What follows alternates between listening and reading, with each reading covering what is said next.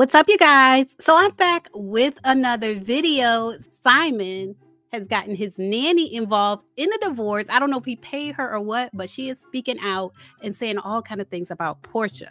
So we're going to get into that in this video. But first, I wanted to talk to y'all about something I mentioned in my last video. I mentioned the last video where I spoke about Porsha and Simon. I mentioned to you all that it is Simon's home that they are fighting over in this divorce. Porsha is not a co owner of the home. I mentioned that to you all, and I saw in the comments that some of y'all kept saying that Porsha was a co owner, that they bought it together. You saw them moving together, and Porsha also owns a home. But that is just not true. Like, if you look, this is one of the documents from their divorce. This is when Simon was trying to get uh, possession of the home, possession of marital residence, and he also wanted to put a restraining order on Porsha. And you see in number two, it has the address of the home. And it says in number one, the parties were married November 26, 2022. Prior to the parties' marriage, the husband purchased the home and it has the address of the home. And it says solely from his personal funds. And that is his home. When you look up the the county records, not Zillow, not Trulia, but when you go to the county records and you look at that address, the owner, the most current owner, Eor Guobadia, it's Simon's home. It doesn't list Porsha because she's not a co-owner of the home. And in this county, Fulton County, when there are multiple owners, they do list all the owners. Like you have David and Deborah, who also own a home in Fulton County. You have Mr. Jose and Sarah, who also own a home in Fulton County, and both of their names are listed. But for Simon's home, it only lists Simon because he's the only owner. And Porsha even admitted that she wants to stay in the home because it was promised to her in the prenup that she could reside in the home, but it's not her home. And so, in her response to Simon wanting to get possession of the residence, she said the parties, both of them, have occupied the marital residence since prior to getting married on or about November 25th, 2022.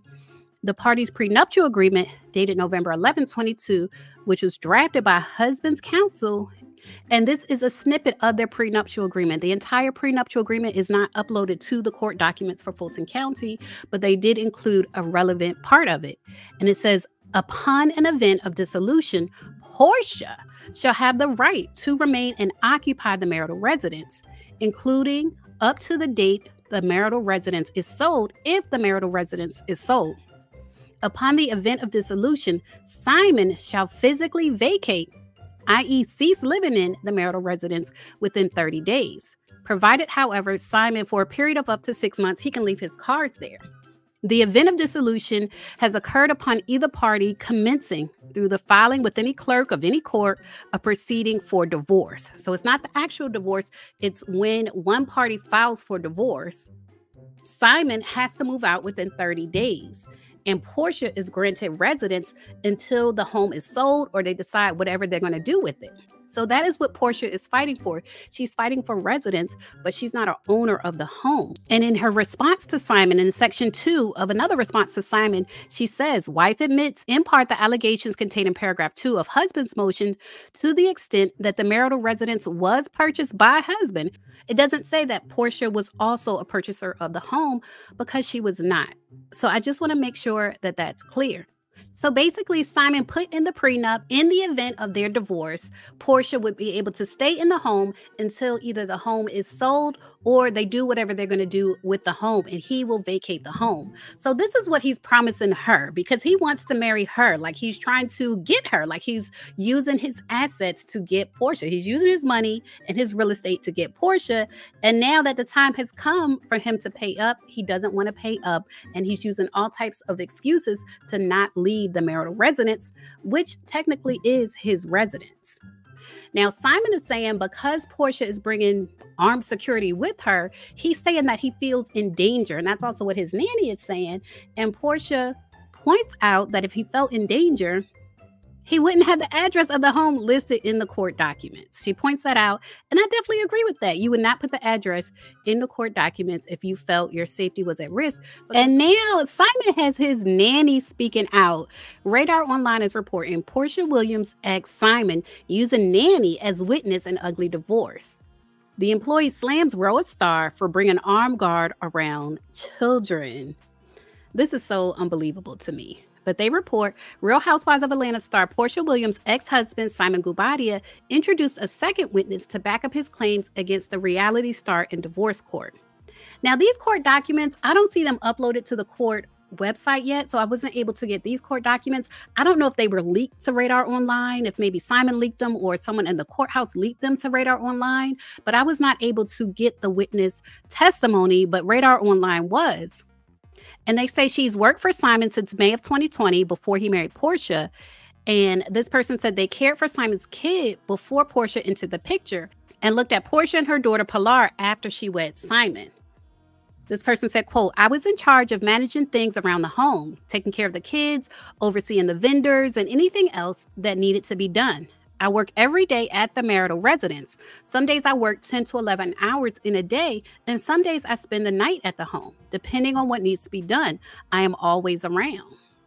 She says, Simon is such a good man. I have never seen him be violent or angry at all. He is very mild mannered and just a nice guy. So uh, this is why I say I don't know if Simon paid her for this statement. That's my opinion. She went on to say that Porsha reached out to her on February 22nd and asked if she could stay late the night. She agreed. The woman said Porsha came to her that day and wished her her happy birthday and gave her flowers. The woman said Porsha left the home that evening and never came back, which we already know that's a lie. Porsha did come back. It was just roughly two weeks later. She went on to say she had to watch Simon's children the following night because Porsha left the home when Simon was traveling. She said, quote, I could not go to my home from Thursday, February 22nd until Monday, February 26th because Porsha left the marital residence without telling me, and it was the week Simon's children were at the home. Simon returned to the house surprised of the divorce and without help from his wife. She was not doing her marital duties, according to the nanny. But I did share with you guys in other court documents, Porsha has said she is willing to watch his kids. Like if she's going to be a resident at the home, she is willing to watch his kids.